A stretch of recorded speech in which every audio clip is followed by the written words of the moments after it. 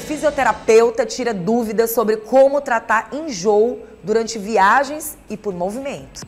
Cinetose. Para muitos esse nome é uma novidade, mas os sintomas são super comuns. A maioria das pessoas que tem não sabe exatamente o motivo ou ignora a importância dos cuidados. Você está aqui dirigindo um carro ou então como passageiro e de repente sente tonturas, dores de cabeça, náuseas. Isso acontece todas as vezes que está em movimento, seja no automóvel ou em uma viagem de barco, de trem ou de avião.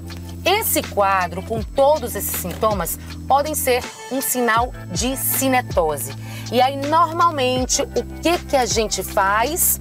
Toma aquele remedinho que todo mundo conhece.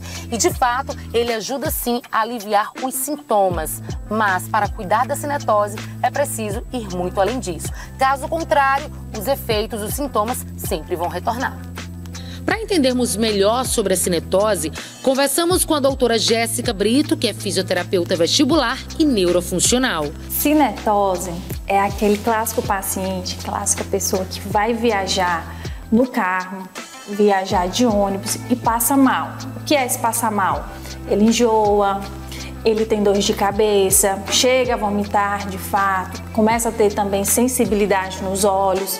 Então, é, são pessoas que são sensíveis ao movimento quando estão dentro de um carro, de um avião ou de um ônibus. De imediato, o que você pode fazer para amenizar o problema é fixar a visão no horizonte, não ler ou mexer no celular, sentar no banco da frente ou, se possível, dirigir, comer pouco e não comer antes da locomoção, não consumir bebida alcoólica e ficar calmo.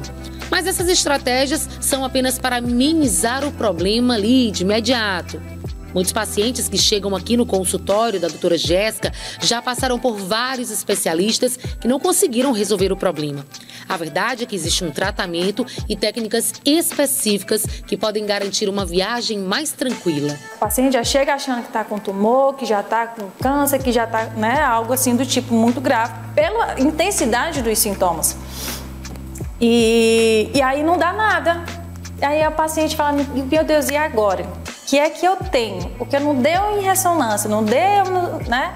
E aí a gente precisa saber acolher esse paciente, deixar ele né, conversar um pouco e a gente acalmar para depois é, direcionar ele para a terapia adequada. Eu uso aqui no consultório muito a realidade virtual. A gente coloca um joguinho lá.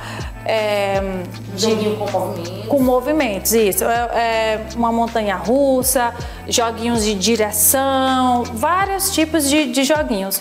E aí o paciente coloca o óculos e aí ele vai simular aquele movimento.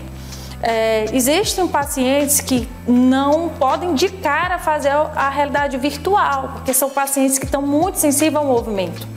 Então, aqui no consultório, eu, eu, coloco a realidade virtual no finalzinho já do tratamento, quando eu percebo que, as melhor, que tem uma melhora já considerável. As respostas são muito boas. Né? A gente tem um, um, um resultado muito, muito satisfatório, sem necessidade nenhuma de medicamento e atuando onde de fato é, existe a necessidade.